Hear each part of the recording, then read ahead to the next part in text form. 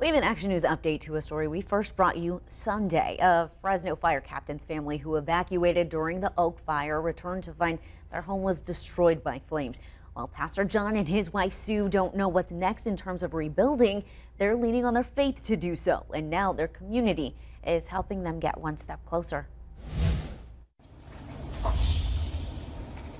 They just have to remember, you know, um, if there be any good thing, think on this. Because he lives, because Jesus lives, I can face tomorrow.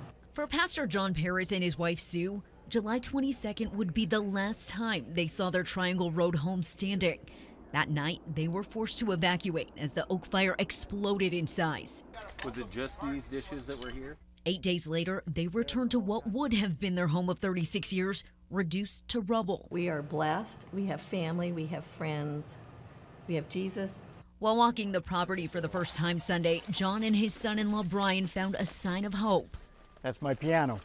John had waited his entire life to get this piano, only to have it less than a year. Regardless, he says this moment served as a reminder that flames couldn't take his family. That K Kawai baby grand helped create memories spanning generations.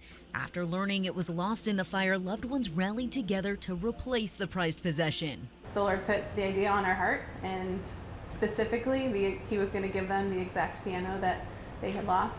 Nina Baker and Mary Silva spearheaded the mission. 13 ladies that knew, I bet there's 100 people that were involved.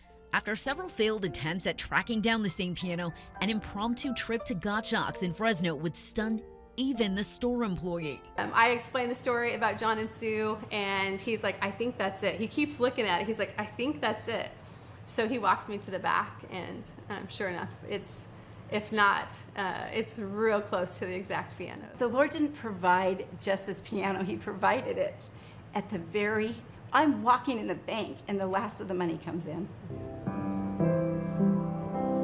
John was surprised with the piano Monday at his daughter's house. Much like his faith, his playing hasn't missed a beat.